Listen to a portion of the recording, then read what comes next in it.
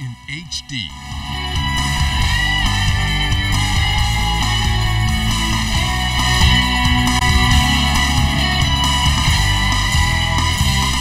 ZNS Network presents The Bahamas Tonight.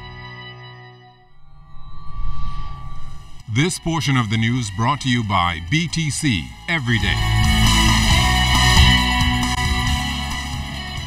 Good Sunday evening, all. I'm C.S. Scatterly, and welcome to the Bahamas Tonight, the weekend edition. Thanks so much for joining us. The weather tops the national news tonight as the Met Office has been issuing alerts all day advising the Bahamas that showers and thunderstorms associated with an area of low pressure within 100 miles of the Turks and Caicos Islands had become more organized and concentrated overnight. The Met Office said the system could form into Tropical Depression 12 or Tropical Storm Kate within the next few days. Met officials further advise that a tropical storm warning could be issued for the central and southern Bahamas soon as well.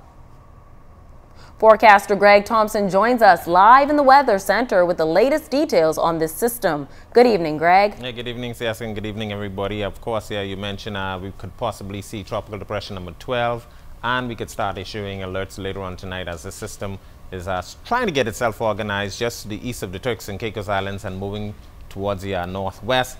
Satellite pictures showing things really shaping up with the system out there. Most of the convection staying to the east of the islands and over the open Atlantic, but we do have a trailing trough across Hispaniola that's expected to pull up towards the uh, north and west with this system.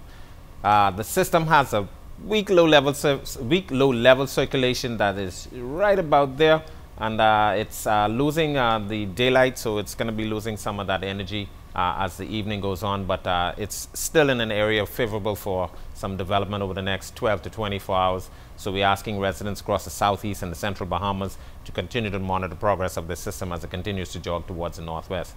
Turks and Caicos Islands, Mayaguana, Long Island, San Salvador, you guys could see some showers and thunderstorms beginning tonight through tomorrow as that trailing trough hanging out across Hispaniola is going to be pulling up towards the uh, north and west. This is the showers and thunderstorms associated with that trough hanging out of the system.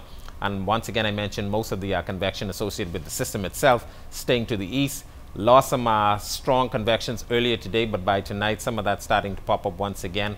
And uh, this is how things will be shaping over, up over the next couple of days low pressure system right now, but the National Hurricane Center is going to continue to monitor the system.